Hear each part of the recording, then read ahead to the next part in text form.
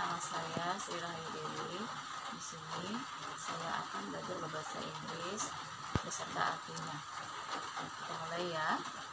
Pen, pena, pensil, pensil, paper, kertas, book, buku, textbook, buku pelajar, bag, tas, lurer, penggaris, tie, dasi, uniform, seragam, shoe, sepatu, skirt, rok, kalender, kalender, toilet, toilet, teacher, guru, teacher room, ruang guru, student, pelajar, classroom, kelas, door, pintu, window, jendela, whiteboard, papan tulis putih, blackboard, papan tulis hitam, map, peta, security, satpam, globe, bola dunia.